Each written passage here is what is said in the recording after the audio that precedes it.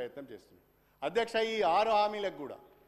ఈ ఆరు హామీలకు నేను ప్రాథమిక అంచనా వేస్తే ఈ ఆరు ఆరు గ్యారంటీలకు ప్రాథమిక అంచనా వేస్తే ఒక లక్ష ముప్పై ఆరు వేల కోట్లు అవుతుంది శ్రీధర్ బాబు గారు సంవత్సరానికి. ఒక లక్ష ముప్పై ఆరు వేల కోట్ల రూపాయలు అవుతున్నాయి.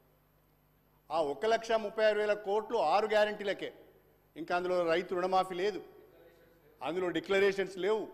అందులో డాక్టర్ బిఆర్ అంబేద్కర్ అభయహస్తం లేదు. యువ వికాసం లేదు అన్నీ ఇంకా చాలా ఉన్నాయి. అవి కాక అవి కాకనే ఈ ఆరు గ్యారంటీలకు పదమూడు హామీలకు లక్ష ముప్పై ఆరు వేల కోట్లు కావాలి. అధ్యక్ష అధ్యక్ష ఒక ఒకటే చిన్న ఎగ్జాంపుల్ చెప్తా మీకు ఇవన్నీ వద్దిగా.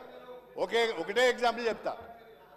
అధ్య- అధ్యక్ష అధ్యక్ష ఈ బడ్జెట్లో అధ్యక్ష ఈ బడ్జెట్లో అధ్యక్ష ఈ బడ్జెట్లో మొన్న మన ఫైనాన్స్ మినిస్టర్ గారు ఒక మాట చెప్పారు. చాలా సంతోషకరమైన వార్త చెప్పారు. ఏమని అంటే ఈ సంవత్సరము ఒక్కొక్క నియోజకవర్గానికి మూడు వేల ఐదు వందల చొప్పున ఇండ్లు మంజూరు చేస్తాము అని చెప్పారు.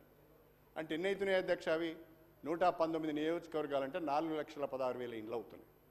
నాలుగు లక్షల పదహారు వేల ఇండ్లకు ఐదు లక్షల రూపాయల చొప్పున లెక్క కట్టినా లేదు ఎస్సీ ఎస్టీలకు అదనంగా ఇంకో లక్ష ఇస్తా అన్నారు. అవన్నీ లెక్క కడితే దాదాపు ఇరవై మూడు వేల నుంచి ఇరవై నాలుగు వేల కోట్ల రూపాయలు కావాలి అధ్యక్ష. కానీ మీరు బడ్జెట్లో ఎంత పెట్టారు? మీరు బడ్జెట్ ఏడు వేల కోట్లు పెట్టారు అధ్యక్ష. అంటే ఇది తప్పించుకోవడం కాదా అధ్యక్ష? ఇది వాస్తవాలు తెలుసుకోకుండా మాట్లాడితే నేనేం చేయాలి? మీరు చెప్పిన మాటలే మీరు ఇచ్చిన ఫిగర్స్నే మేము మాట్లాడుతున్నాం. భిన్నంగా ఏం మాట్లాడడం లేదు. కొత్త ఫిగర్ నేను తీసుకురావడం లేదు. అదేవిధంగా మహాలక్ష్మి అన్నారు అధ్యక్ష. అదేవిధంగా మహాలక్ష్మి అన్నారు. ఏమన్నారు? రాష్ట్ర ఆ మహాలక్ష్మి కూడా ఆరు గ్యారంటీలలోనే ఉన్నది. మహాలక్ష్మి కూడా ఆరు గ్యారంటీలలోనే ఉన్నది. మహాలక్ష్మి ఏమన్నారు? మహాలక్ష్మి గ్యారంటీలో మూడు హామీలు ఉన్నాయి. అందులో ఇప్పుడు రెండు హామీలు నెరవేర్చారు. ఉచిత బస్సు సౌకర్యం ఒకటి నెరవేర్చారు. రే రేపో మాపో గ్యాస్ సిలిండర్ కూడా చేస్తామంటున్నారు సంతోషం. కానీ అసలు అసలు హామీ ఏంటిదంటే ప్రతి మహిళకు ప్రతి నెలకు రెండు వేల ఐదు వందల రూపాయల చొప్పున ఆర్థిక సాయం చేస్తామన్నారు. మన రాష్ట్రంలో మన రాష్ట్ర మన రాష్ట్రంలో పద్దెనిమిది సంవత్సరాలు నిండిన వాళ్ళు కోటి అరవై ఐదు లక్షల మంది ఉన్నారు. పోనీ ప్రతి మహిళకి ఇవ్వడానుకున్న శ్రీధర్ బాబు గారు మన రాష్ట్రంలో తొంభై వేల వైట్ రేషన్ కార్డ్స్ ఉన్నాయి. సారీ తొంభై లక్షల వైట్ రేషన్ కార్డ్స్ ఉన్నాయి. మీరు కుటుంబ ఒక్క రేషన్ కార్డుకు ఒకరికి ఇచ్చిన తొంభై లక్షల మందికి నెలకు రెండు వేల ఐదు చొ- రెండు వేల ఐదు వందల చొప్పున ఇచ్చిన ఎన్ని డబ్బులు కావాలి? ఇరవై వేలు కావాలి. దీంట్లో ప్రా ప్రావిజనే లేదు. ఇరవై వేల కోట్లు కావాలి. దీంట్లో ప్రావిజనే లేదు. నేను అడిగేది ఆరు గ్యారంటీలను చాలా ఆర్భాటంగా చాలా అద్భుతంగా ప్రజల్లోకి మీరు తీసుకువెళ్ళారు. ఒక మాటలో చెప్పాలంటే ఆ ఆరు గ్యారంటీలు మిమ్మల్ని గెలిపించినాయి.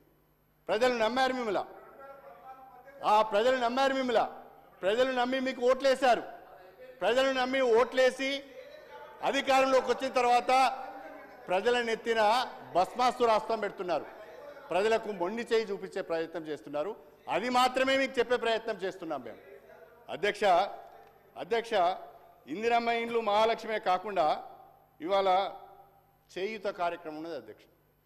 నాకు తెలిసి సబ్జెక్టు కరెక్షన్. నలభై నాలుగు లక్షల మందికి మనం ఆసరా పెన్షన్లు ఇస్తున్నాం. దాన్ని పేరు మార్చిలు చేయుత పెట్టారు ఏమీ అభ్యంతరం లేదు. నలభై నాలుగు లక్షల మందికి ఆసరా పెన్షన్లు ఇచ్చేటప్పుడు సాలీనా దాదాపుగా పన్నెండు వేల కోట్ల రూపాయలు ఖర్చు అవుతున్నది మీరేం చెప్పారు? రెండు వేల రూపాయలను నాలుగు వేల రూపాయలు చేస్తాము. వికలాంగులకు నాలుగు వేల బదులు ఆరు వేలు చేస్తామని ఆరు గ్యారెంటీలలో చెప్పారు. చేయూతలో. అంటే ఎంత కావాలి ఇప్పుడు? దాదాపుగా సంవత్సరానికి చేయూతకు ఇరవై నాలుగు వేల కోట్లు కావాలి. ఇరవై నాలుగు వేల కోట్లు కావాలి. భార్యకు భర్తకు కూడా ఇస్తా అన్నారు. ఇంట్లో ఇద్దరికి ఇస్తా అన్నారు. అంటే ముప్పై ముప్పై వేల కోట్లకు పోతుంది.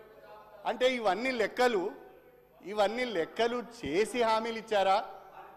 లెక్కలు చేయకుండానే చూసుకోకుండానే వనరులు ఏంటో తెలుసుకోకుండానే ఏమన్నా కానీ ముందుగానే హామీలు ఇద్దాం అధికారంలోకి వద్దామనే ఆలోచనతో ఇచ్చారా? అర్థం చేసుకోవాల్సిన అవసరం లేదు. ఇది వాస్తవ పరిస్థితి అధ్యక్ష. ఆరు హామీలకు సంబంధించిన పరిస్థితి ఇది. అధ్యక్ష